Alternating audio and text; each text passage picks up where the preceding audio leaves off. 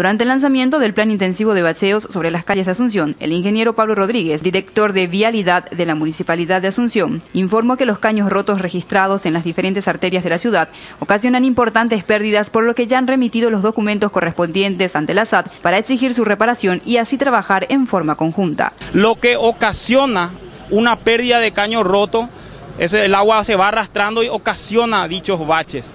hay pérdidas que tenemos 3, 4, 5 días o 10 días. Nosotros vamos a trabajar de manera coordinada con la SAT, pero así también vamos a exigir,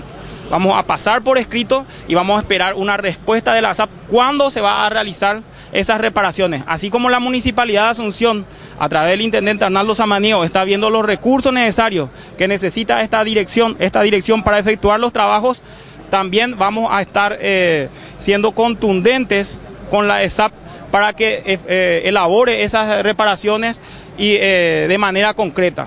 Y que, dando como ejemplo, en la esquina muy concurrida de Fernando Lamora y General Santos, tuvimos una pérdida de varios días que ocasionó una, un arrastre y por tanto la avería de la, de la, capa asfáltica. Siguiendo con el ejemplo de dicha dirección, nosotros vamos a exigir que, eso, que en el caso de avenidas principales se realicen las reparaciones de manera inmediata.